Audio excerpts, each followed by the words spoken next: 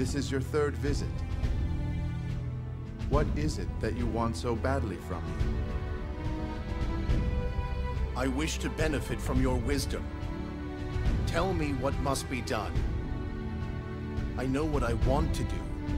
I want to ease the people's suffering. But...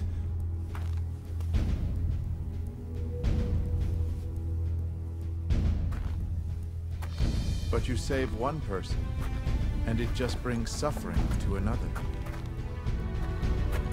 What should I do?